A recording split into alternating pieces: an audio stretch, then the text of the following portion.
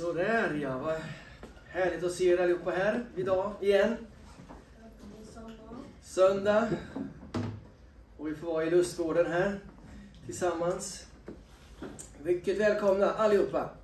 Alla åldrar, från när och fjärran. Eh, mår ni bra idag? Ja. Har ni ätit en god söndagsmiddag idag? Ja, Ja. Vad blev det idag Alex? Ja.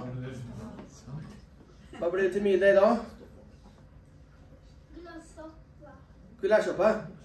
Ja men det lät väl bra. Jag åt hamburgare och pommes frites. Här borta. Jag hann inte äta någon middag hemma idag så jag tog det här borta istället. Jaha, vad härligt. Tycker ni om att det är lite vårvärme ute också? Ja. Jag skrev med skidorna i snön. Första i fjärde 23 skrev jag i snön med skidorna den första april. Sista åket. Tänkte, nu släpper vi in våren tänkte jag med. Och så kom han, våren. Och alla får som de vill vet ni, så blir det blir ingen ledsen. Okej hörni, vi ska höra Britt-Marie, vår pastor, predika idag och vi ska vara tillsammans här. Var det bara härligt och bra och underbart. Vi har mött Gud redan här innan i vår bönesamling här. Det känns att Jesus är här idag också och vill möta oss. För vet ni om en sak? Att Jesus lever faktiskt. Det är därför han komma hit idag. För vi är mitten mellan påsk och pingst nu vet ni. Och han, han är uppstånden igen Jesus. Han är med lärjungarna nu och han... Ja, de har varit ute och fiskat vet ni och fått... Hur många fick de förresten fiskar när de fiskade där på... De kastade ut näten på högra sidan som han sa på stranden när han stod där Jesus. Eh, och till lärjungarna, gör det nu! Hur många fick de upp tror ni? Ja, 153 stycken står det att det blev. Ja, de som... Eh, man säger att det kan vara ett tecken att det är en för varje på något sätt av folkgrupper, folklag, äh, något sådär. Det får ni läsa på själva. Men tydligt var att de fick fångst lärjungarna när de hade fiskat. För att Jesus sa det. Eh, Så det, han säger till dig idag också, lyssna på min röst. Kasta ut näten så ska du få fångst också. Och därför har vi samlats idag. Vi sänder på nätet vet ni, sänder ut över hela världen för den som vill lyssna på oss. Eller hur Per? Ja. vi lägger mellan fyra och faktiskt upp över 600 som har varit inne och tittat på mötena här som vi sänder. Det är ganska bra för Freak Church tycker jag. Och eh, därför är vi inte ensamma. Det är massor som lyssnar på oss. Nu och efteråt också. Och idag är det så att, att ni är små. Det är härligt med små som finns ibland oss också. Att vi ska faktiskt ut på lite galej idag tänkte jag. För nu är ju värmen och solen här. Så vi ska faktiskt ut lite i trädgårdsföreningen idag. Och ha lite mysigt där och och ta med lite kex och lite saft och lite... Och lite Jesus också förstås. Han är med oss där också. Visst är det bra? Mycket Just av. Jesus, mycket av Jesus. Mycket av Jesus, förlåt Mary. Mycket av Jesus och lite, Lite. kex och mycket Jesus. Vi tar, vi tar den ordningen. Kan vi inte ställa oss upp och så sjunger några barnsånger för att känna woo, nu är vi på G va? Ska vi ta Jag gläder mig i dig, att du är min Herre Jesus. Och så får ni klappa takten på rätt ställe då. Jag början.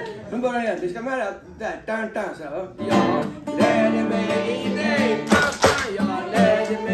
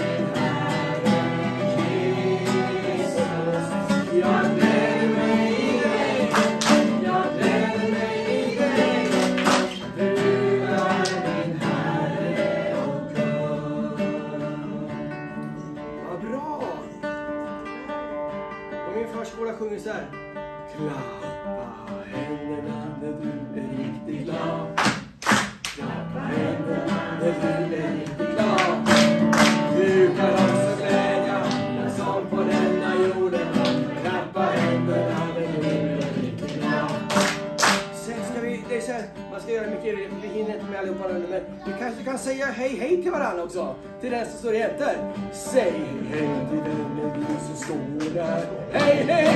Säg hej hej till vännen din som står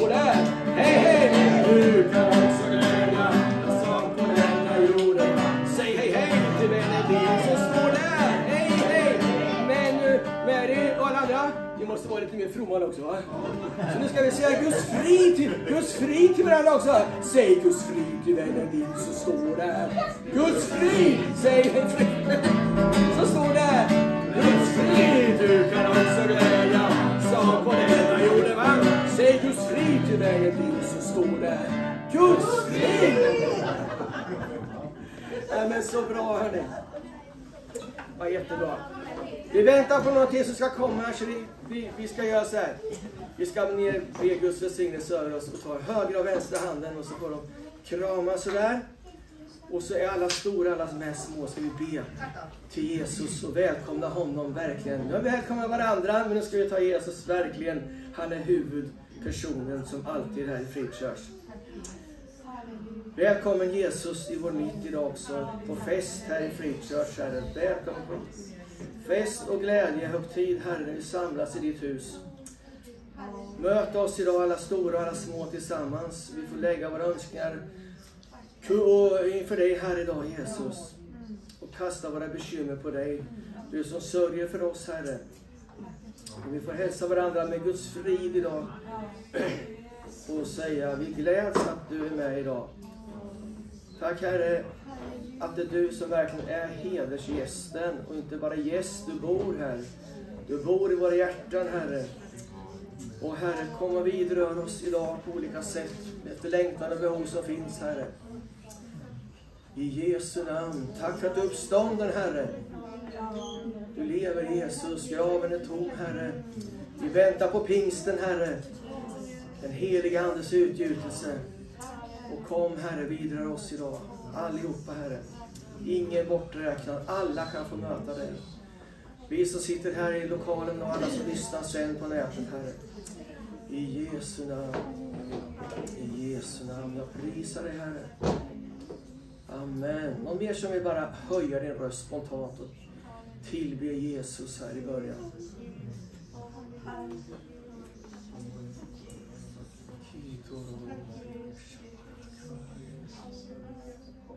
Jesus, Jesus, Jesus. Tack Jesus Herre.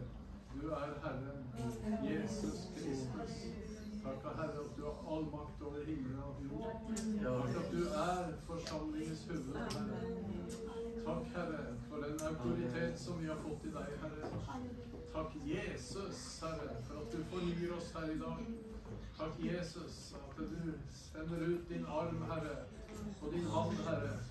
Tack till helbredelse, till läkedom Herre. Till utfrielse, befrielse Herre. Åh Jesus, tack att du förnyar Herre. Tack att du renar oss i våra hjärtan Herre, så som du renade i templet Herre. För våra kroppar Herre, det är tempel för din helige Ande. Tack Jesus att du gör något nytt idag. Tack att vi får märka det. Tack att du är här. Tack att du sänker dig ned över oss, Herre. Tack att du fyller alla, Herre. Och du fyller allt i alla, Herre. För vi har fått hela gudomens fylld i dig. Herre, vi bara prisar dig. Förnya hjärtan, Herre. Förnya sinnen, Herre. Kristi sinnen, Herre. Åh, för kroppar som är äkta, Herre. Vi bara tackar dig, Herre. Vi ska lyfta dig upp till dig och ära dig, Herre. För det är för ditt namns skull, Herre. Inte för våran skull, Herre. Och vi prisar ditt namn och ärar dig, Herre. Se till de små, Herre. Och se till de stora. Åh, Herre. Låt oss få ha hjärtan som är med dig. Och ära dig och prisa dig och tacka dig, Herre. Under alla omständigheter, Herre. I Jesu namn, vi fäster vår blick till dig, Jesus. Vi ser inte på omständigheterna, Herre. Men du, vår Herre och Gud. I Jesu namn. Kom Herre Jesus, kom, kom snart. I Jesu namn. Amen. Tack Jesus att du är barnen, speciellt idag Herre. Tack Jesus för Jesus börjelse över dem Herre. Tack Jesus för att du har makt Herre. Stor makt. I himmel och på jord Herre. Du kommer vara med oss till ände Herre. Vi har något att lita på. Tack Jesus för att du alltid med oss och bär oss Herre. Tack heliga Ande för vad du gör. Ska du.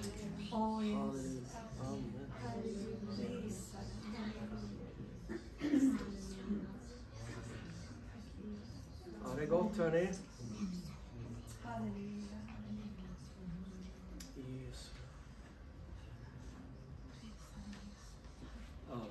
Festen har börjat. Vi ska få höra härlig lovsång här nu av Merzi. Och vilken tur att han kommer nu precis när jag säger så här. Jasmin. Ja, vilka vackra namn ni har. Så ni kan komma fram och leda i lovsång och så blir det mera sen också här. Och, och så. Men ni små, ni får gärna följa med mig om ni vill ut i den vackra trädgårdsföreningen nu så ska vi ha lite söndagsskola där ute idag. Gött va?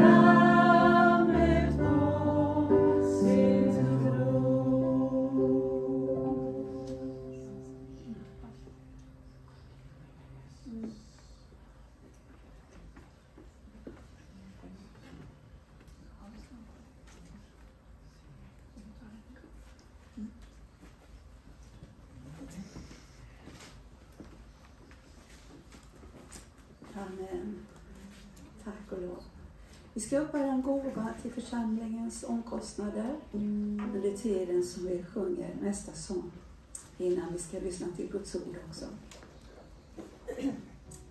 Gud välsigne dig. Och som kollektivsång ska vi då sjunga en sång som jag för många år känner igen. Alla borde känna till.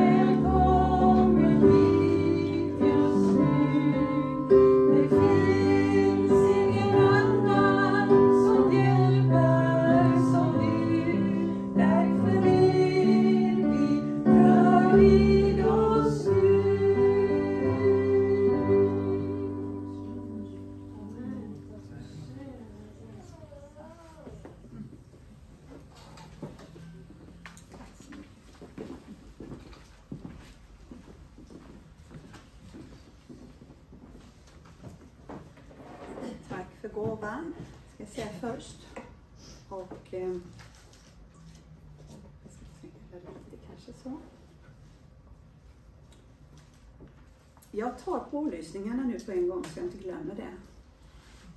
Eh, nästa, nästa söndag så möts vi här och då är det Colin Hurst som talar klockan 15. Och eh, söndagen den, därefter den 30 så predikar Mårten. Och sen vill jag pålysa då också om helgen vi har. Den 6 och 7 maj. Med Per-Arne Imsen. Jag skulle vilja säga att eh, prioritera gärna det. För att det är så aktuella budskap i vår tid. Och då är det både lördag och söndag som vi har bjudit in Per-Arne. Lördagen är klockan 15 och 18 och söndag klockan 15.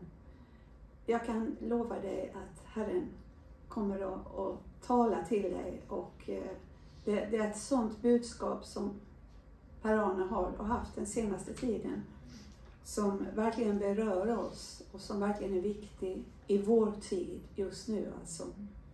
Så eh, prioritera den, den 6 och 7 maj här gärna.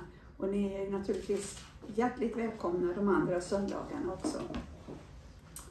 Och jag återkommer om eh, eh, hemgrupp och bibelstudier eh, som vi har sagt att vi ska börja med nu. Men jag återkommer närmare med datum om jag Kan du så gå in och titta på vår, vår eh, hemsida på freechurch.se. Eh, vi eh, kommer att börja med, med bibelstudier i samband med våra bönesamlingar i, veckor, i veckorna. Då. Vi kommer kanske att alternera i hemmen. Så är det kanske tänkt att vi ska göra. Men eh, det kommer att starta ganska omgående. Men jag, kan du så, annars får du gärna kontakta mig. Om du inte har möjlighet att gå in och titta på hemsidan så, så ska jag närmare pålysa de här datumen och tidpunkterna. Amen. Vi var ju i, inbjudna till Göteborg, till eh, församlingen Agape där. Och det var fantastiska möten där Gud verkligen berörde oss och berörde många människor. Och det var en sån kärlekens ande utgjuten där Eh, från församlingen och vi blev verkligen så välsignade och väl omhändertagna där, vi som var där. Och eh, vi, eh, vi fick möta Gud kan jag säga. Den heliga Ande var starkt utgjuten redan första mötet. Underbar lovsång och fantastisk undervisning. Så jag hoppas att det kommer ut på nätet det också så småningom. Ja. Jag börjar med att be. Tack Jesus. O Herre, utgjut din heliga Ande nu över oss här idag. Herre, vi behöver dig i allt Jesus. Vi kan ingenting göra i oss själva. Ber Herre, låt din heliga Ande idag beröra oss genom det levande Gudsordet. Herre, hjälp mig att tala idag. Hjälp mig att förmedla något ifrån dig Jesus. Herre, kom med din kraft över oss. Vi behöver dig. Kom med din glädje och frihet i den här tiden vi lever i Jesus. Herre, led oss. Öppna våra hjärtan så att vi kan lyssna in vad du vill tala. Öppna upp, Herre, det som är stängt. Så att vi får komma ut i frihet igen. En andlig frihet som du har gett ditt folk, Herre. Jesus, jag ber. Kom och berör oss idag, Herre. På ett särskilt sätt. Åh, välsigna oss. Välsigna ordet idag, Herre. Vi behöver dig så, Jesus. Vi behöver dig. I allt, Herre. Mm. Och vi prisar dig, Åh, vi behöver din kraft, Herre. Åh, Jesus, Jesus. Heligande. Sänk dig ner över oss idag, Herre. Och berör oss redan nu, Herre. Tack att du vill göra något speciellt idag, Herre. Tack att du vill beröra oss, befria oss, hela oss, Herre. Upprätta oss, Herre. Jesus. Tack, Herre. Tack, Jesus. Åh, Herre. Du ska vara i fokus idag, Jesus. Du ska vara i centrum, Herre. Och kom, Herre, och ta rodret nu, Jesus. Kom och ta vid, Herre. Underbara heliga Ande. Vi behöver dig. Åh, Jesus. Jesus.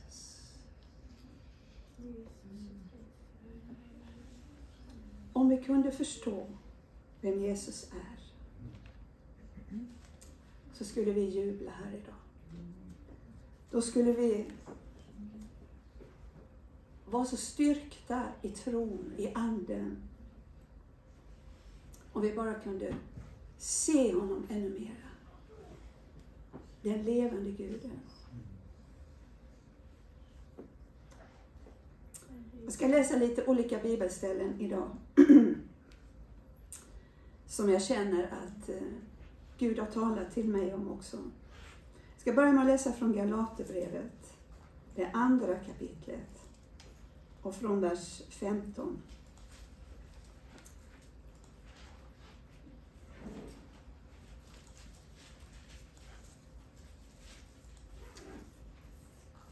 Tack Jesus, tack Jesus, tack Jesus. Prisat vare. Det är Paulus som skriver till Galaterna. Han talar om för sina bröder, sina landsbröder, judarna, vad han har upplevt i Jesus. Från vers 15 där. Vi själva är visserligen judar till födelsen och inga hedniska syndare. Men eftersom vi vet att människan inte förklaras rättfärdig genom laggärningar utan genom tro på Jesus Kristus så har också vi satt vår tro till Kristus Jesus. För att vi ska stå som rättfärdiga genom tro på Kristus och inte genom laggärningar. Ty genom laggärningar blir ingen människa rättfärdig. Men om vi genom att söka rättfärdigheten i Kristus visar oss vara syndare, skulle då Kristus stå i syndens tjänst? Nej och åter nej. Men om jag bygger upp igen det som jag har rivit ner, då står jag där som en överträdare. För jag har genom lagen dött bort från lagen för att jag ska leva för Gud. Jag är korsfäst med Kristus. Amen. Och nu lever inte längre jag, utan Kristus lever i mig. Och det liv jag nu lever i min kropp, det lever jag i tron och Guds son som har älskat mig och utgivit sig för mig. Jag förkastar inte Guds nåd. Om rättfärdighet kunde vinnas genom lagen, då hade Kristus dött förgäves. Det som han säger här, det är att, jag ska se om jag kan sänka den här lite, jag känner att jag får den för nära. Ehm, det han säger här, det är att lagen kunde inte frälsa. Lagen var bara tillagd för att visa på synden i våra liv. Men nu är det något nytt som har hänt här. Det nya livet i Jesus Kristus har flyttat in på insidan. Därför säger Paulus, och nu lever inte längre jag, utan Kristus lever i mig. Det är den stora styrkan och hemligheten i alla de som har tagit emot Jesus och fått det nya livet. När han säger att han lever på insidan av oss, då gör han det. Han lever här inne i oss som tror. Så varje dag, varje stund finns han där. Jag har sagt det förut, han hoppar inte i och ur. Han är där. Han bor där inne. Jag ska bo mitt ibland mitt folk, har han sagt. Och det gör han. Han bor där inne. Det är det här vi måste få liksom förstå på något sätt. Få en insikt i att Jesus bor i oss. I oss. Nu ska vi gå till Hesekiel och så ska vi läsa om vad som har hänt med oss också. I, ska vi se, i Hesekiel kapitel 36 ska vi läsa. Och vers 26. Det blir lite bibelstudier här idag också.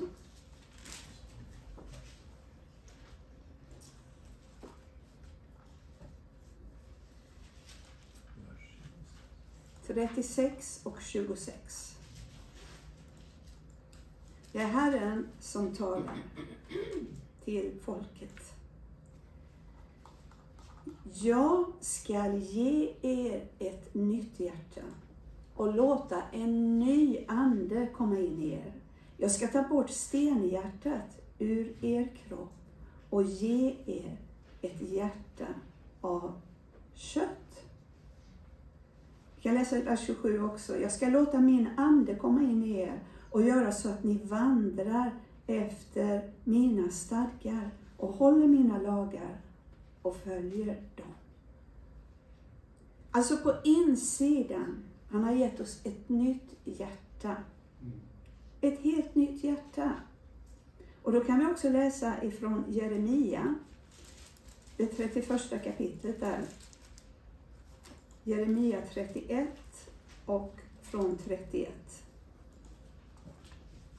Också Jeremia talar mycket om det här.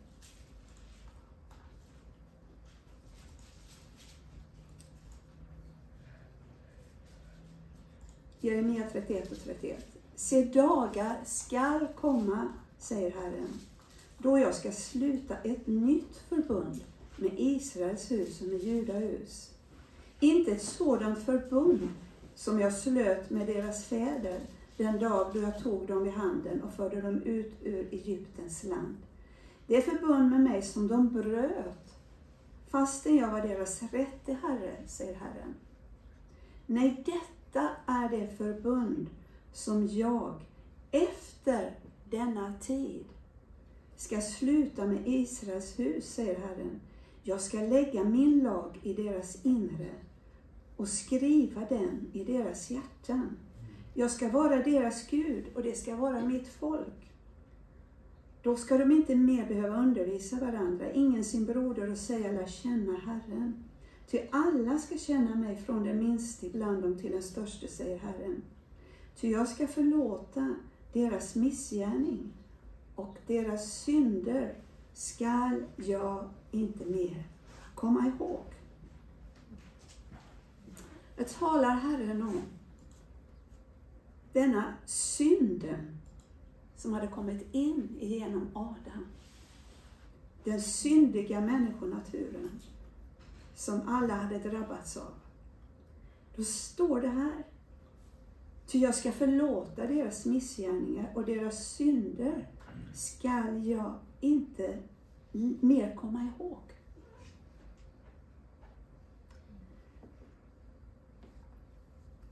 Vad är det vi brottas med? Ofta är det vår, vår, i oss själva, våra egna tillkortakommanden. Åtminstone gör jag det ibland. Jag känner att eh, nej, det finns inget gott i mig. Jag brottas, man brottas med det som har hänt i det förflutna. Man brottas av sådant som man har drabbats av. Det kan vara synd, men det kan också vara så. Människor har gjort mig illa. Eller något du har sagt eller gjort i ord och i handling. Långt tillbaka i tiden. Det kan vara sånt som plågar. Inte alltid, inte varje dag. Men det kan komma när du ligger där på natten, när du är vaken och inte kan sova. Då kommer gärna också fienden och talar om hur pass dålig du är. Att du kan ju ingenting.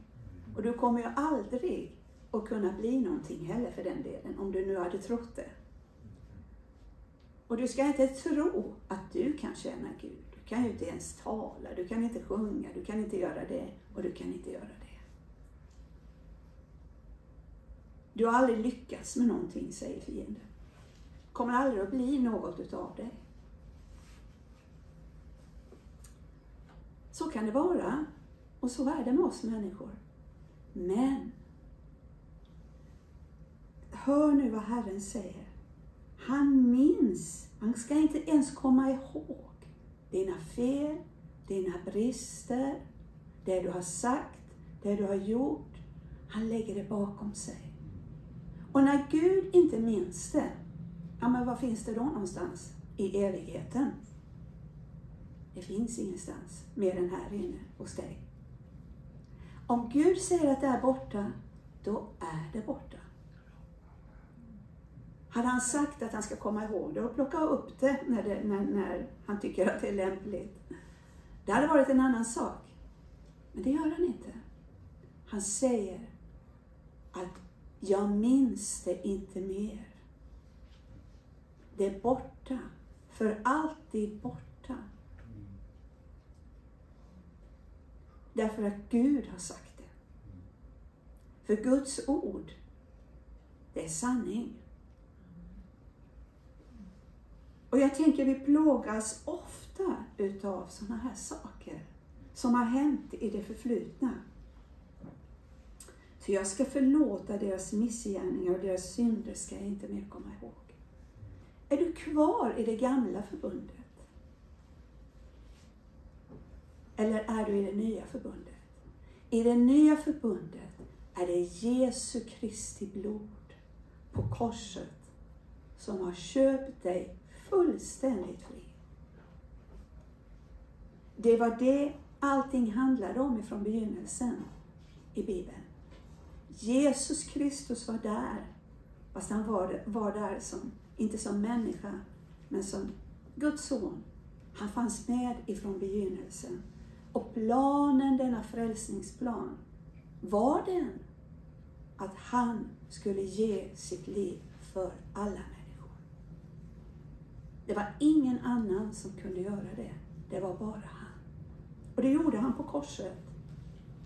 Han utgöt sitt blod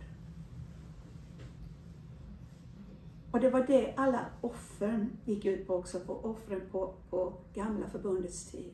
Man offrade massor med djur för att blodet skulle sona skulden. Men Jesus gav frivilligt sitt blod för att vi skulle vara fria. Och därför så, så står det så här.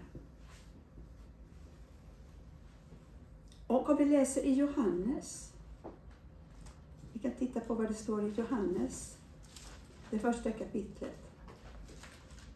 Och vers 12 och 13. Där kan vi läsa.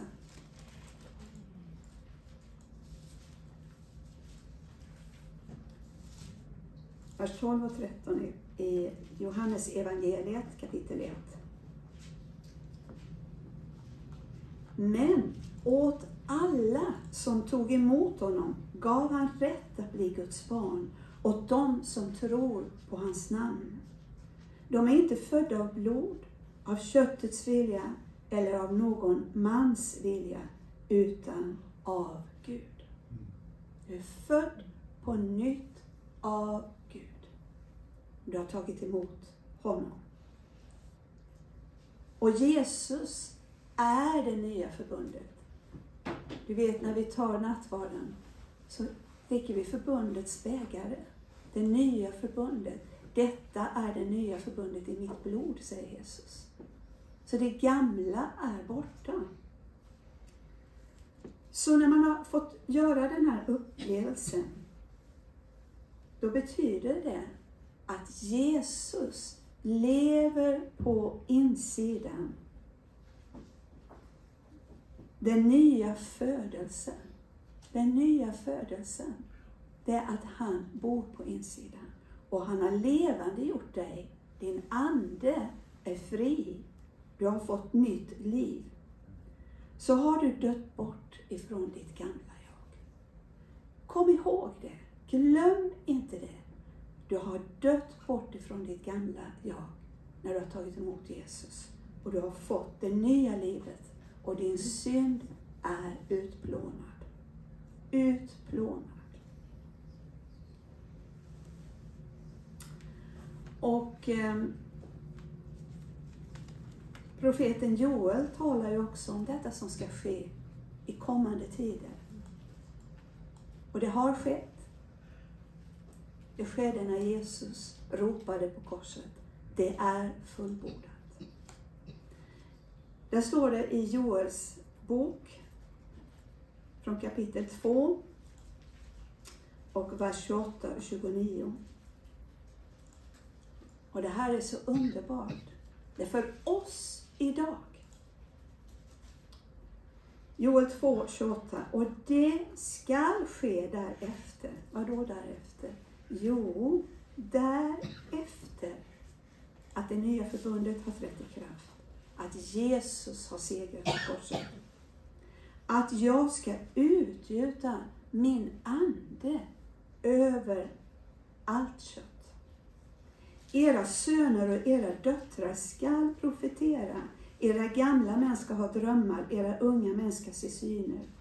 Också över tjänare och tjänarinnor skall jag i de dagarna utgjuta min ande. Här är det över våra söner och våra döttrar. Över män och över kvinnor.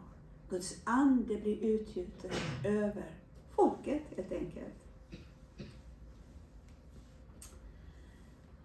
Vi kan läsa också från Romarbrevet, den, det, det tredje kapitlet.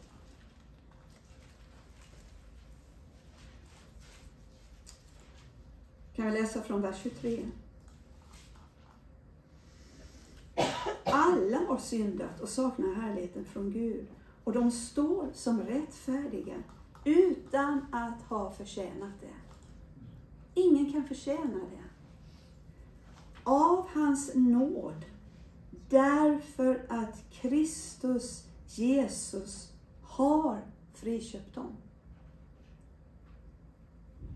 Honom har Gud genom hans blod ställt fram som en nådastol att tas emot genom tron. Så ville han visa sin rättfärdighet eftersom han hade lämnat ostraffade de synder som förut hade blivit begångna. Under tiden för Guds tålamod.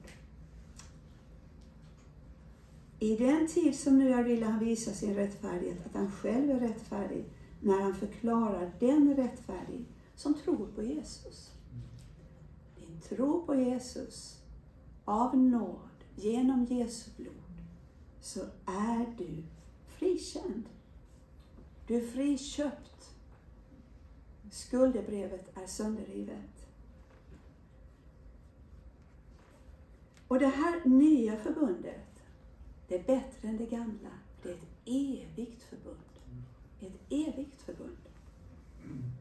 Och vi vet, vi har pratat om att det gamla pekar fram mot det nya och det nya visar på och bekräftar det gamla.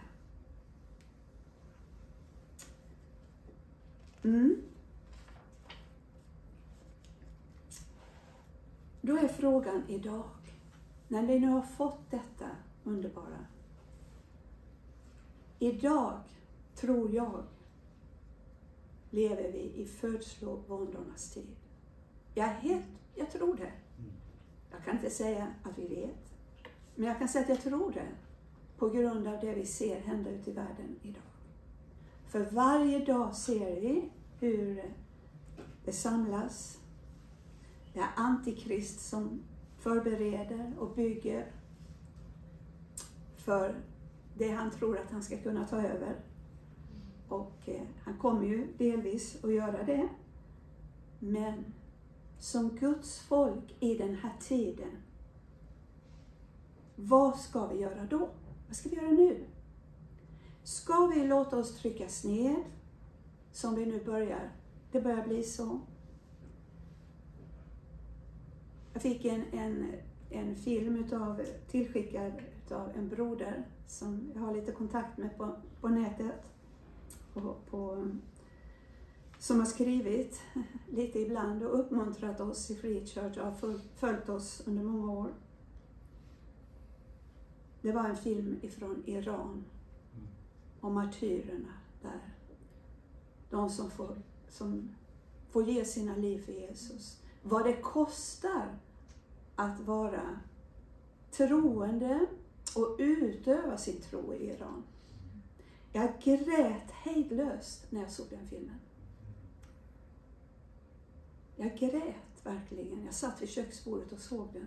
Och jag grät. För dessa familjer, iranska familjer, de går i tro, i kärlek på sin Mästare och Frälsare.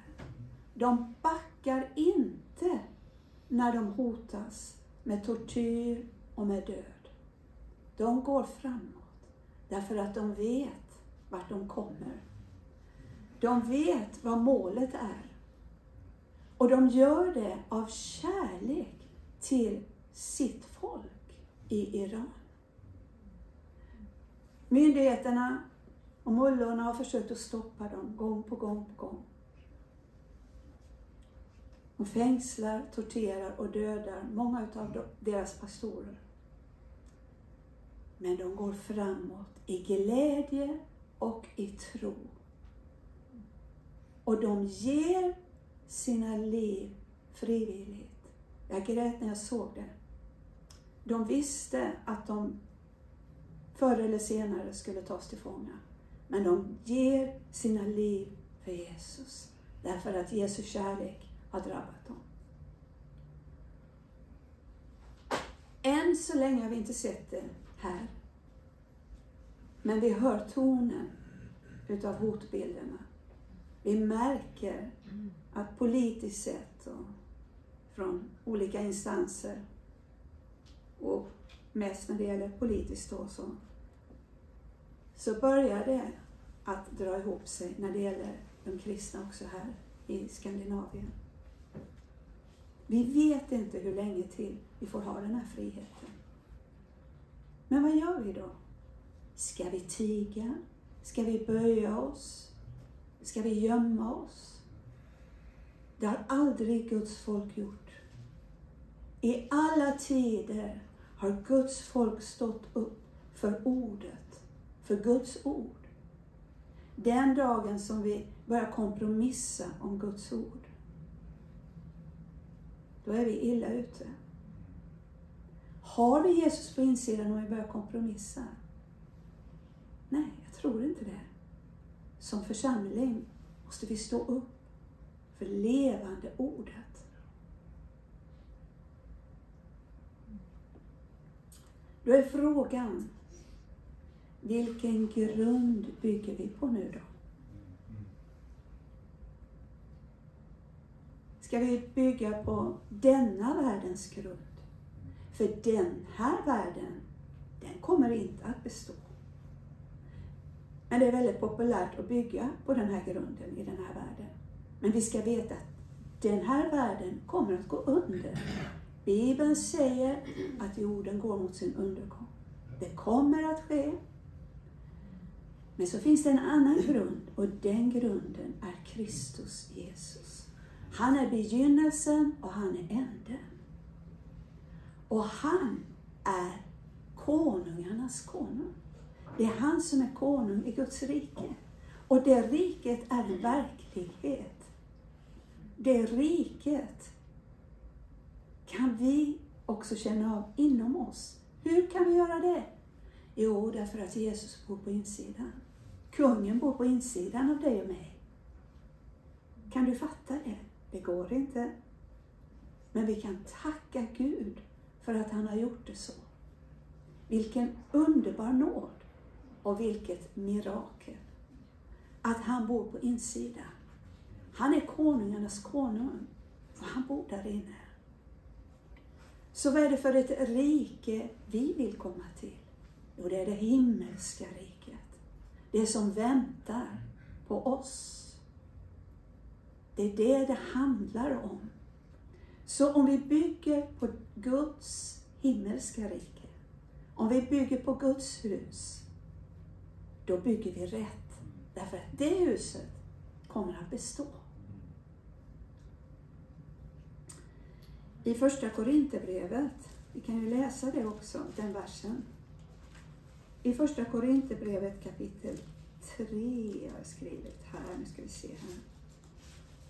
Och vers 11. Första Korinthierbrevet 3 och 11. Vi kan läsa 12 kanske också, nej 10 också. Därför att det är Paulus som talar om hur han bygger. Efter den nåd som Gud gav mig har jag som en kunnig byggmästare lagt grunden och en annan bygger nu på den. Men var och en bör se till hur han bygger. Så står det i vers 11. Ty någon annan grund kan ingen lägga än den som är lagd. Jesus Kristus. Jesus Kristus är trons grund. Det är den grunden vi får bygga på. Och det är den som kommer att stå fast. Inte bara här en tid. Den kommer att stå fast för evigt. För evigt.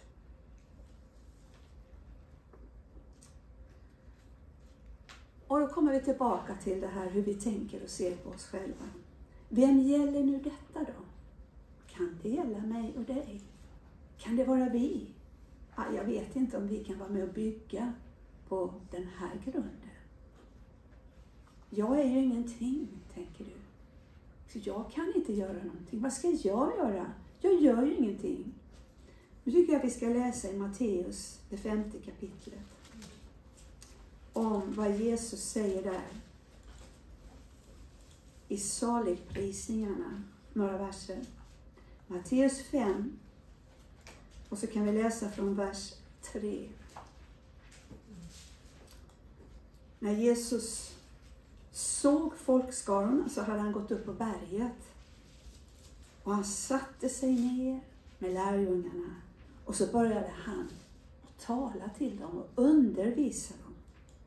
Så säger han i vers 3 där, saliga är de som är fattiga i anden. De tillhör himmelriket. Saliga är de som sörjer, de ska bli tröstade. Saliga är de ödmjuka, de ska ärva jorden. Saliga är de som hungrar och törstar efter rättfärdighet. De skall bli mättade. Vilka är nu detta då? Ja, de svaga, de fattiga, de som behöver något.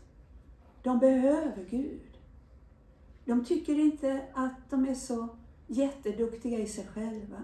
De tycker inte att de har allt. De tycker inte att de inte behöver något mer. De klarar sig bra själva. Det här är motsatsen till hur människor egentligen tänker och är idag. De här människorna upphöjer inte sig själva och de är lyckliga, saliga. Varför? Därför att de behöver Jesus. De är fattiga i anden. De längtar efter Jesus. De längtar efter hjälpen ifrån ovan. För de behöver hjälpen. De längtar efter Gud. De sörjer, kanske sörjer över sig själva, sörjer över förhållandena på jorden. Och de är ödmjuka. De är inte stolta, de är ödmjuka. Och de ska få ärva jorden. Och de hungrar och törstar efter rättfärdighet, efter att få komma i rätt förhållande till Gud. De längtar efter Gud. Det här är ur Guds perspektiv kan man säga. Dessa människor ser han till. De söker honom. De längtar efter honom. Och det är de som är med och bygger denna grunden i bön, i tjänst för Gud på olika sätt. De är med genom sin tro och trohet mot Herren.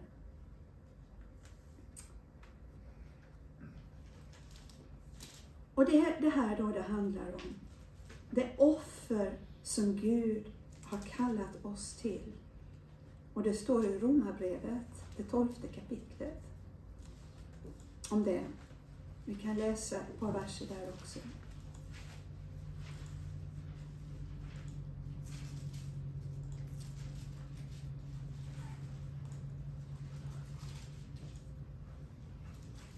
Romarbrevet, vers 1.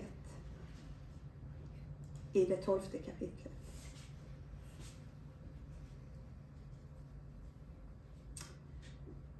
Så förmanar jag nu er bröder vid Guds barmhärtighet att frambära era kroppar som ett levande och heligt offer som behagar Gud.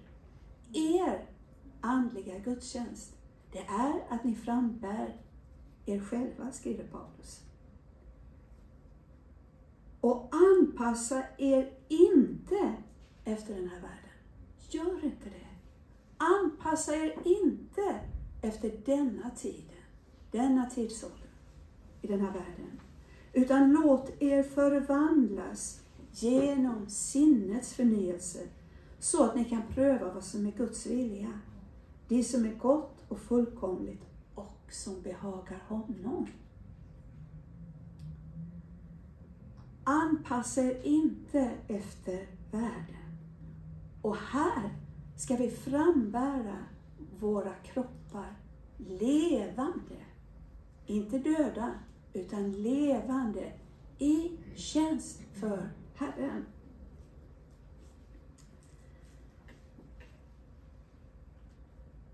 Och i det kommer det en underbar förvandling till sinnets förnyelse. Och vad innebär det då? Jo, att det syns att vi tillhör inte den här världen. Vi har skilt oss ifrån den här världen. Och det kommer att synas när vi ger oss själva helt till Jesus. Alltså vi kan inte ge oss 99 procent för att det ska fungera. Det går inte. Vi måste ge allt till Jesus. Och det här är det det handlar om idag. Vi tror att vi kan leka kyrka idag. Vi tror det. Och vi kan ha lite som vi tycker verkar bra och lite si och lite så. Vi, vi, vi släpper in i, i Guds hus det som Bibeln har förkastat. Och när vi gör det, det går inte. Det går inte. Det måste vara hundra procent helhjärtat. Ska du ge ditt liv till Herren, då vill jag bara säga det, då måste det vara hundra procent. Annars kommer du aldrig igenom. Du kommer inte igenom. Du måste ge ditt liv hundra procent. Vad kan mörker ha för gemenskap med ljuset? Står det i Bibeln. Det går inte. Du måste lämna mörkret. Det måste vara en total sinnets förnyelse och pånyttfödelse i den helige Ande. Då kommer du att få uppleva det här. Genom den totala förvandlingen som sker inifrån. Det är inte bara munnens bekännelse. Vi hör på mycket undervisning på nätet idag och det är så mycket munväder. Men det finns inget djup i den undervisningen. Det gör inte det hos en del. Det måste ske på djupet i våra hjärtan. Det måste vara Andens förvandling i våra liv, den heliga Andes förvandling. Vi måste skilja oss ifrån världen. Och när vi gör det, då kommer vi att bli som de här kristna systrarna och bröderna i Iran. De vet på vem de tror och de vet vad det är som gäller. Det går inte att kompromissa. Du kan inte säga ett och göra ett annat. Du måste vara helhjärtad. Helhjärtad för Jesus. Och jag, det, det är det som jag känner så i mitt hjärta. Guds folk lever inte ett helhjärtat liv idag. Och jag känner själv för egen del. Gode Gud, hjälp oss. Hjälp oss. För nu är det allvar. Det är allvar. Vi ser hur det drar ihop sig i världen. Nu måste vi veta vilken väg vi vandrar på. Om den bär hemåt och uppåt. Eller om det är världens stigar vi vandrar på. Och går du på både och, då är du förlorad. Det finns bara en väg och det är Jesus Kristus. Han är vägen, han är sanningen och han är livet. Det finns bara det. Och det är det jag brinner för. Det kanske du tycker var en lång omväg för att komma dit. Men jag kände att jag ville lägga den grunden ändå i detta som vi nu har talat om här tidigare. Vi måste veta att Jesus bor på insidan för att vi ska kunna gå den vägen. Och vet du inte det, då ska du söka Herren i bönen och i ordet för att få veta vem du är i Kristus Jesus. Kan du tänka dig att universums Herre, han som fanns innan jordens grund var lagd, han bor i dig. Och om vi kunde fatta detta så skulle vi bara ge, kasta oss ner inför honom. Vi skulle bara prisa honom och ära honom och upphöja honom för denna stora nåd. Att Gud själv steg ner ifrån himmelen och lät sig spikas på ett kors. Hans blod har löst oss. Han är det stora skuldoffret. Han är Guds offerland. Så grunden måste vara hel, ren och sann. Det måste vara rätt grund vi bygger på. Annars är allting meningslöst.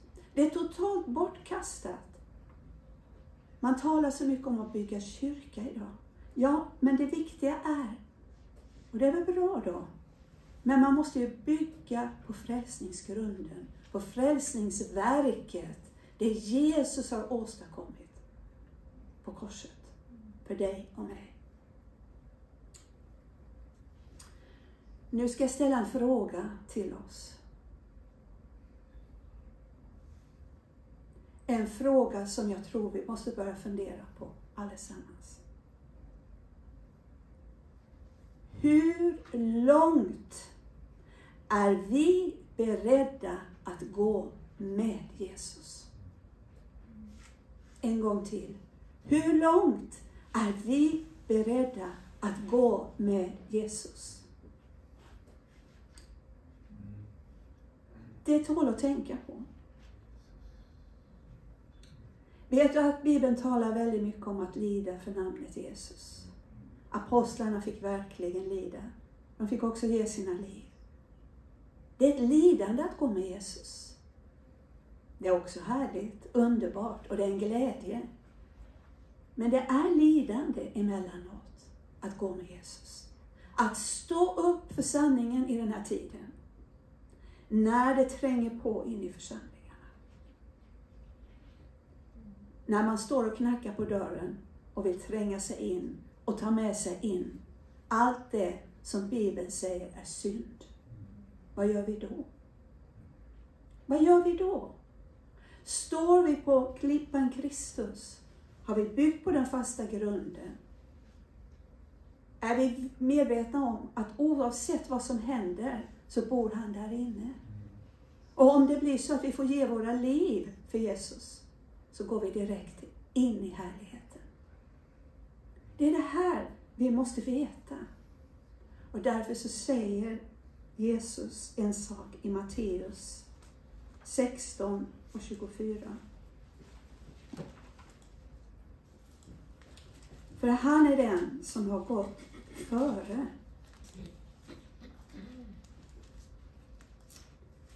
Ska vi se om jag har skrivit det rätt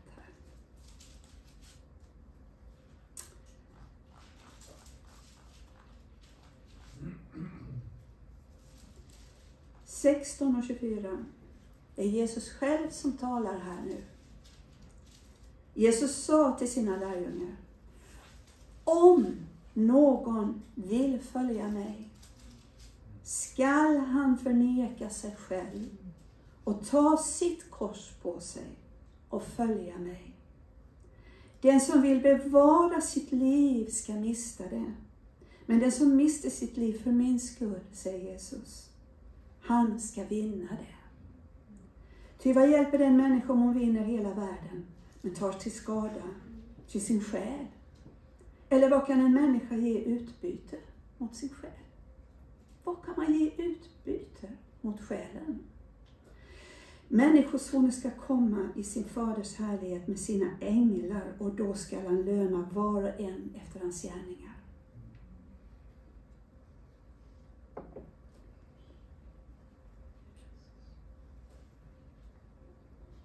Är vi beredda?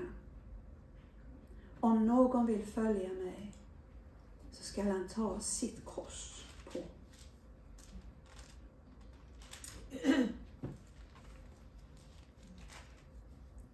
Ja. Och då säger jag, jag har en fråga till. Är vi villiga? Jesus gick villigt, frivilligt till korset och gav sitt liv för oss. Och han hårdrar det dessutom i Lukas, om vi ska läsa där också, i Lukas 14. Det här är jobbigt att läsa, eller hur? Är det inte det? Okej. Okay. Lukas 14 och 27. Där talar Jesus om att beräkna kostnaden.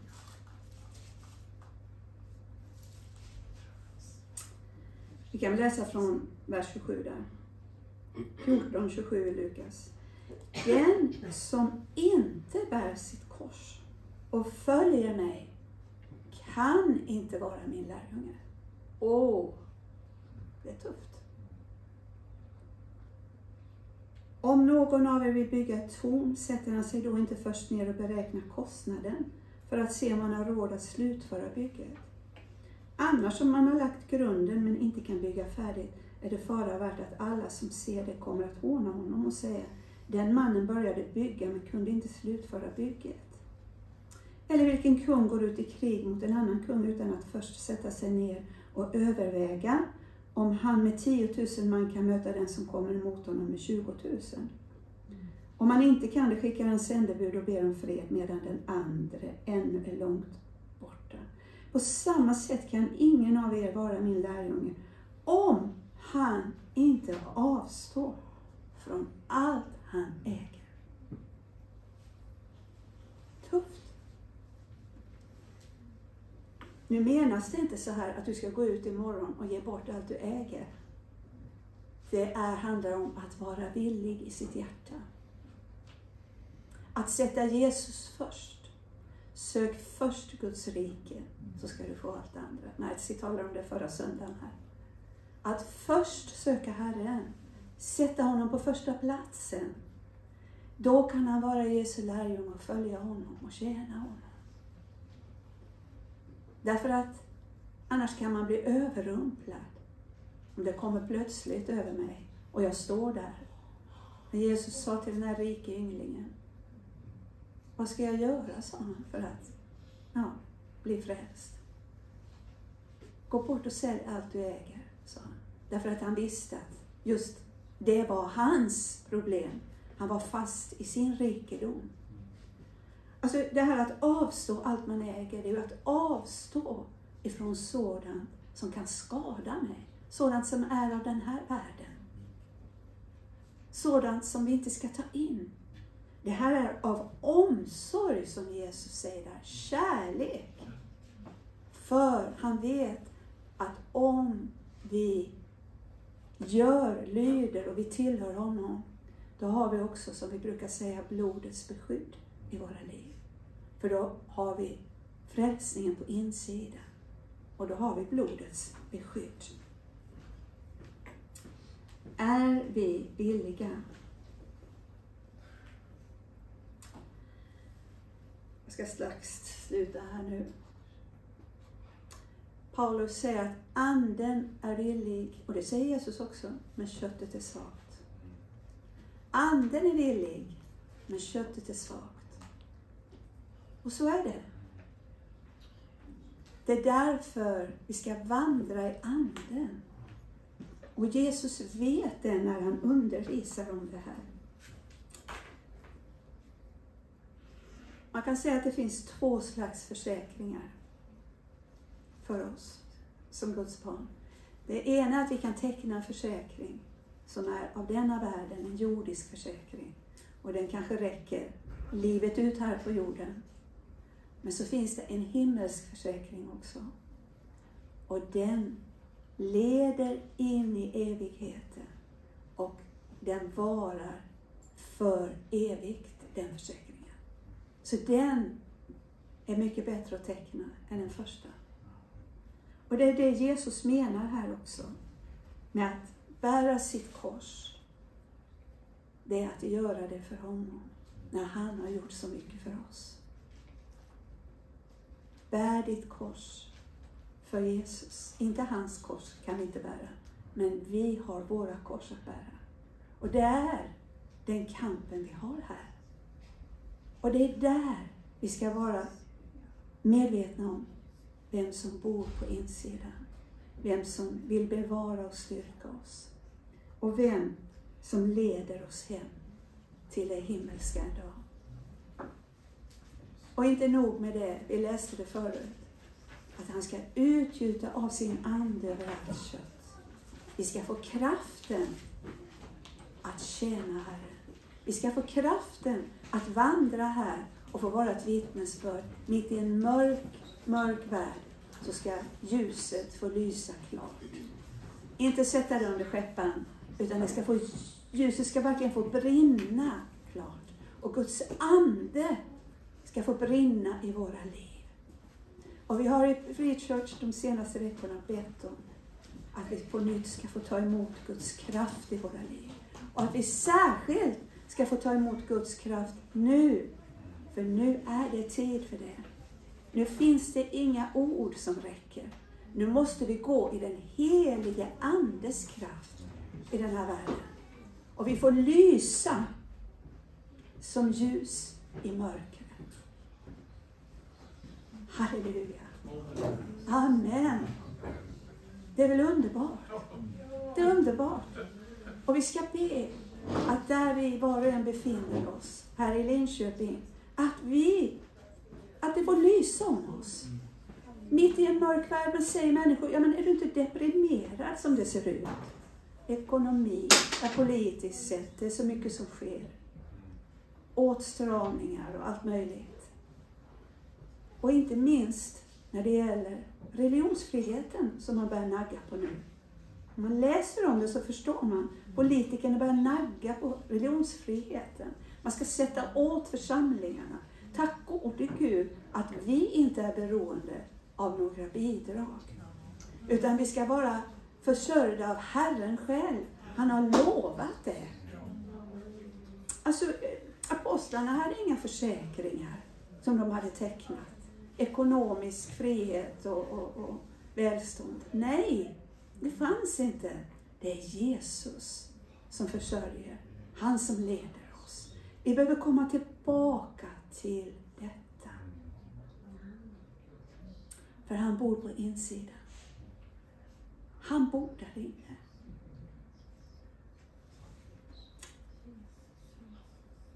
Vi får ta upp våra egna kors, det som vi brottas med, och tänka att vi gör det för Jesus.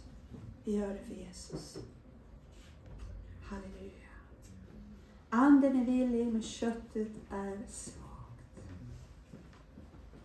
Bygg på den fasta grunden. Och fundera på hur långt du kan tänka dig att gå med Jesus. Men jag vill säga en sak. Han går med dig hela vägen. Hela vägen, sjunger vi en gammal sång, går han med. Och det gör han. Han går med hela vägen. Han har sagt, man ska aldrig svika, aldrig överge. Och han är med oss alla dagar in till tidens ände. Halleluja. Amen. Han är livets källa. Jag ska läsa en vers där. Ifrån Johannes, det sjunde kapitlet. Den här versen um, som jag ska läsa i Johannes 7. Den är mig väldigt kär.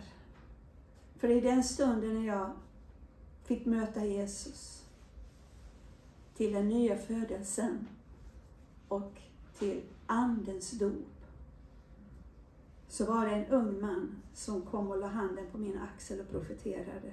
Och det var just den här versen. Från Johannes 7 och 38. Den som tror på mig, ur hans innersta ska strömmar av levande vatten flyta fram som skriften säger. Halleluja. Det är löftet. Den helige Ande, levande vatten som ska flyta fram ur hans folk. Den som tror på mig, säger Jesus. Tror du på Jesus? Johannes 7.38. Ja, just det. Där står det. Amen. Ja. Tack. Jag vill bara säga det. Att nu får vi göra vårt val. Vi får göra vårt val. Och det är bättre att göra det nu än sen när det blir värre där ute. Det är bättre att vi går med Jesus nu och att vi alla får tjäna honom i Andens kraft. Ut ur ditt innersta ska strömmar av levande vatten välla fram, flöda fram. Det är en ständig ström. Vet du att den är aldrig stilla? Det är en ström hela tiden. Med levande, friskt, bolande vatten. Ut ur varje troendes liv. Nu tycker jag att vi, vi ska inte stänga igen längre. Jag tycker att det har blivit för tyst i våra församlingar. Jag tycker att vi ska få höra jubel och fröjder. Att vi ska vara glada. Därför att oavsett hur världen ser ut så har inte detta förändrats på dessa år. 2000 år sedan ungefär som Jesus gav sitt liv för oss. Det har inte förändrats, ingenting. Det är samma Jesus, samma kraft, samma heligande. Så varför skulle vi följa världens svängningar? Nej, vi ska följa ordet och vår Herre Jesus Kristus. Och vi har kraften. Vi har kraften, för Gud har lovat oss den. Så jag, jag längtar efter att få se er allesammans jubla, fröjdas i anden.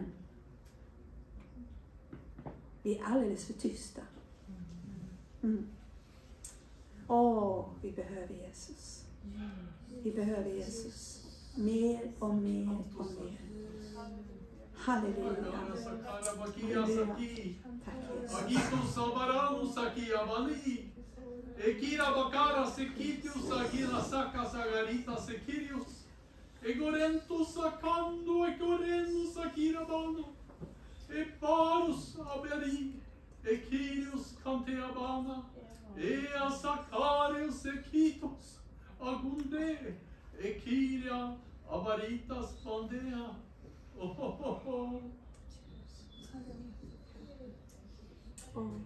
Du sitter här med tydningen. Res dig.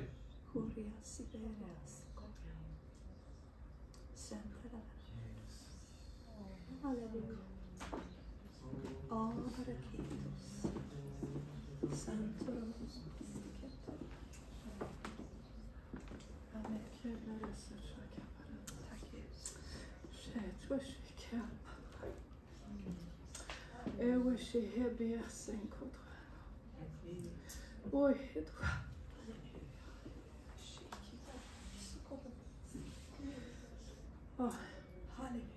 Jag ska säga det Herre.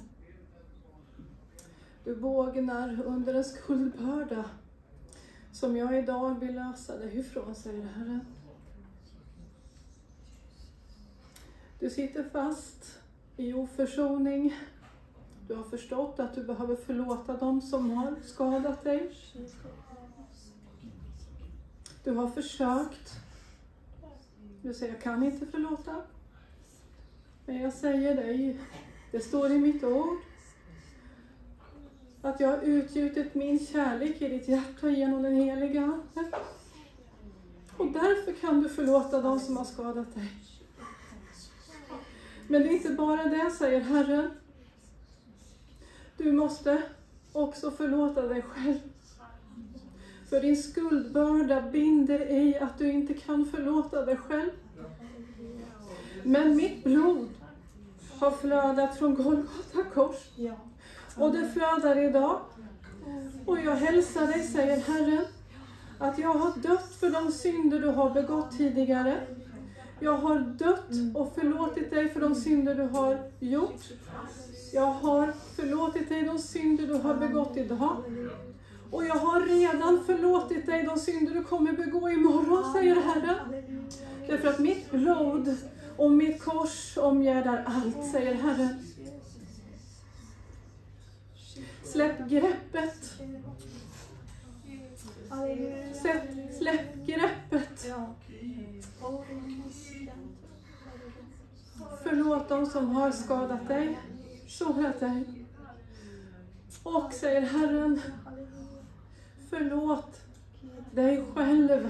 För jag har förlåtit dig, säger Herren, och djävulen försöker lägga en lögn i ditt hjärta. Men det är fullbordat. Bojorna är brutna över ditt liv.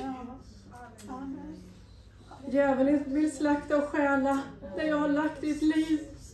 Och min kallelse, säger Herren, låt honom inte bedra dig. Kanske har han försökt att sålla dig som vete. Men idag vill jag bryta sataniska bojor över ditt liv som har med skuld att göra.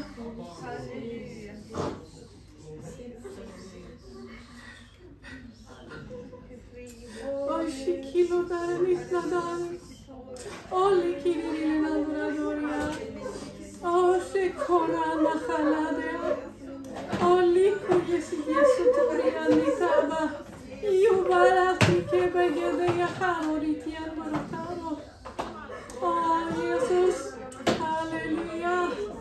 Åh Jesus, tack att du ser dem idag Herre som av hjärtat förlåter.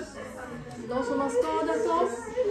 De Jesus som talar ut en förlåtelse över det att de behöver förlåta sig själva Jesus. Tack Jesus att idag bryts sataniska festen. Tack Jesus att idag sätter du mina systrar och bröder fria. Jesus. I Jesu namn så talar jag till dig du ande av skuld och betryck. Lämna, lämna dina barn. I Jesu namn. Tack, vi får tala ut precis som du gjorde. Du sa till Satan, gå bort ifrån mig Satan. Och i Jesu namn så får jag tala ut, inte på grund av mig, utan på grund av det du har gjort för, på korset, Herre. Du är min rättfärdighet och jag bekänner ditt herravälde i mitt liv.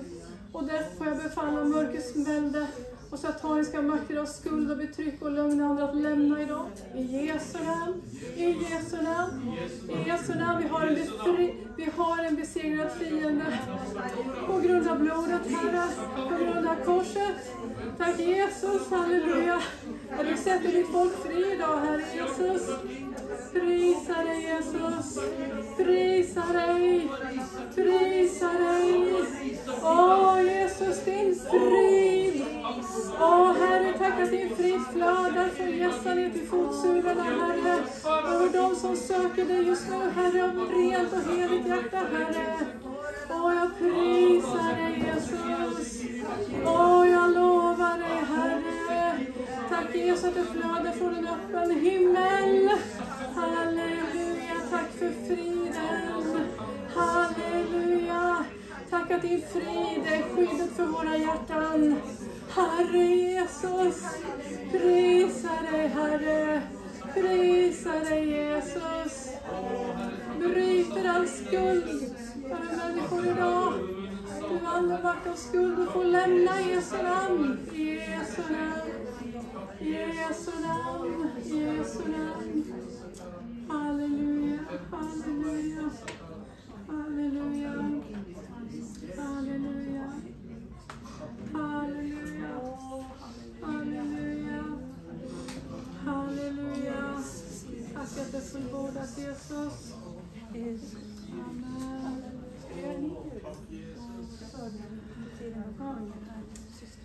Eh, är det någon som önskar förbön så Mm. möts vi längst ner i salen.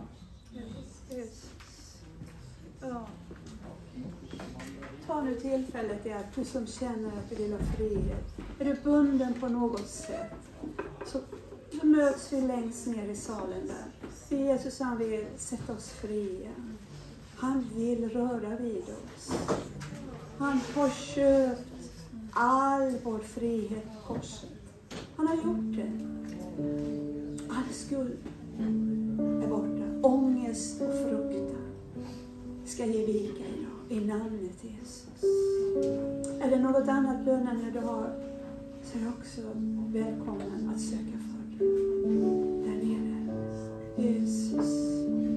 Under tiden vi, vi sjunger här avslutningen av mötet så passa på nu och låt Herren få vidröra dig.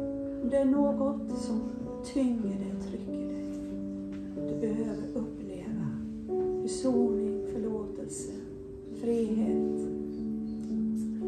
På vilket område det än är. Så kom i Jesu namn. Idag sätter Jesus fria. Han gör det. Han gör det. Han rör vid oss idag. Halleluja. Halleluja.